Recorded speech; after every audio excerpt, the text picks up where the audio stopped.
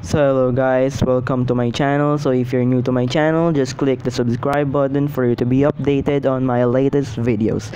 So for today's videos, we're gonna talk about the word asphalt. So some of you might already heard the word asphalt, but specifically, what is asphalt? So asphalt is where we drive on it, walk on it, play and bike on it. Even our planes land on it. But seldom do we stop and think about what asphalt is or how to take care for it. First, let's take a look at the asphalt ingredients.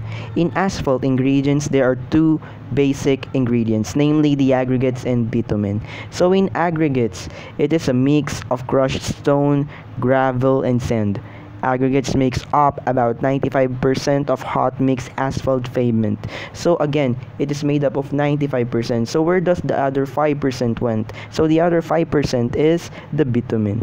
Bitumen is the black or dark viscous material that holds the aggregates together and is composed of polycyclic hydrocarbons or a petroleum byproduct. So for a deeper understanding of asphalt's ingredients, the elemental components of asphalt include carbon, hydrogen, sulfur, oxygen, nitrogen, and a trace amounts of iron, nickel, and vanadium. So that's it for today's video. So if you like today's video, give it a thumbs up and don't forget to subscribe. Bye guys.